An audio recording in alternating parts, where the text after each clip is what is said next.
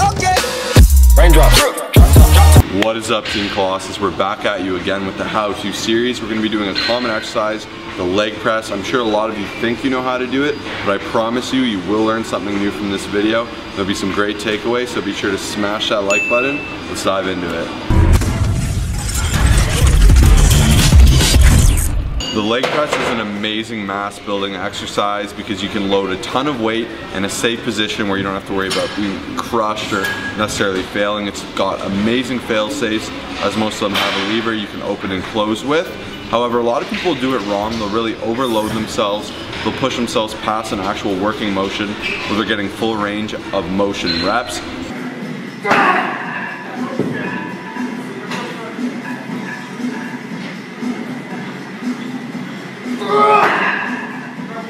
You'll find that a lot of people are quarter repping or half repping at most. And we guys, we wanna show you how to do this leg press exercise properly. I'd say I use a lot less weight than most people do, but I find I get phenomenal results for my legs. Mistake number one is range of motion. This might seem obvious, but we're gonna show you some cool ways where you can actually get a better range of motion. So one issue I commonly find are people hunching forward, boxing themselves with their elbows towards their knees, that's really inhibiting how low your legs can go. Within that, if you're leaning forward, you're once again kind of taking away from that. You're curving your spine, you're taking it out of this strong loaded position. So what I like to do is, you can see me doing here, I'll load my spine, I'll actually put my hands behind my head, and I find this opens up my chest and leads me back to focus on using the driving force from my legs. So now you can see I can lower it to the correct range of motion for me, which is a full contraction of the hamstring. You'll really feel it pushed in and balled up, not to where my lower back is lifting off the bench, but to where it's completely compressed. Past that, you're gonna extend forward. And as you guys can see here, I'm gonna show you the differences between locking the knees and not locking the knees. If you're using a lot of weight, you wanna make sure you are not locking your knees. Full range of motion does not entail locking your knees. However, it does entail a good lockout with a good contraction.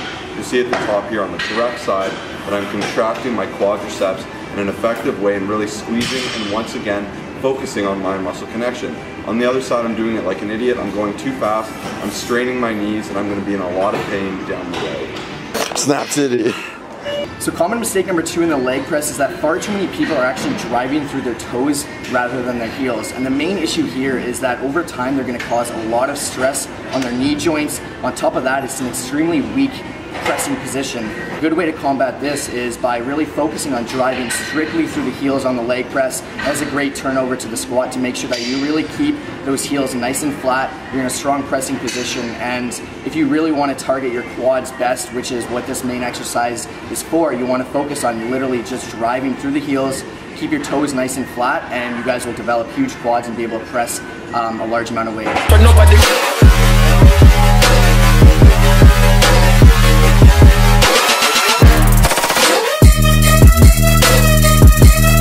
Number three is improper foot positioning. There's several ways to have improper foot positioning. The first and the most common mistake I see is people that keep their feet straight. Some would argue that this is okay, but in my opinion, the safer bet is to have some ducking of the feet. It'll look like this, as you can see on the screen now.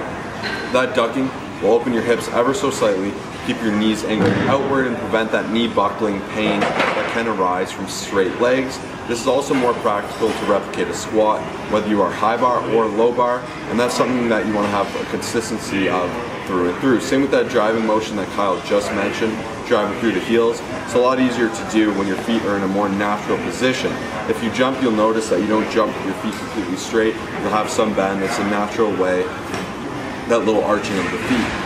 That, some people put their feet way too high up and it'll cause your butt to lift up, your spine to curl out, and that's something you want to avoid. They'll have it way too low, and this once again creates your pressing motion to be very awkward and non-natural.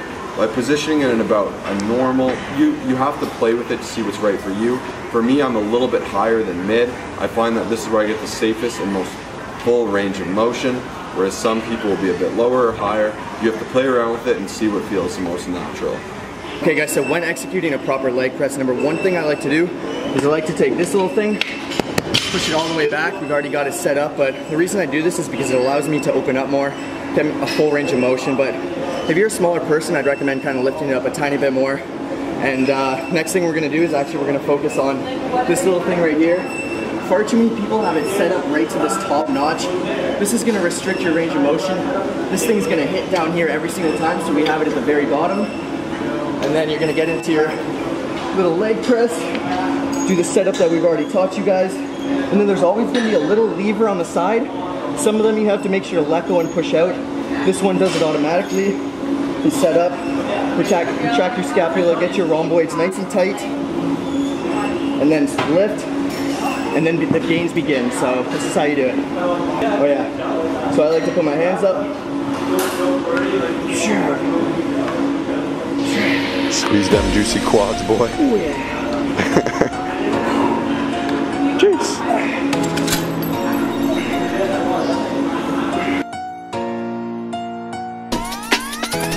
Variation number one, we're kicking it off with the narrow stance leg press. Now there's actually a common belief that keeping the feet together works the outer sweep, also known as the vastus lateralis. Unfortunately, to my knowledge, there is no scientific proof backing it up, but I assure you, you'll get a crazy quad pump. Um, and this exercise is just fantastic to substitute in if you would like to try it out. I'd love to hear what you think. Moving on to some slow negatives, here you're gonna be working on the time under tension and really focusing on getting a three second descent while doing this exercise. You wanna make sure you're driving harder to the bottom. Don't worry about the concentric tempo, just drive the weight up with force. You wanna make sure you're not locking out and stopping just short of lockout, just like any other leg press you're gonna be doing.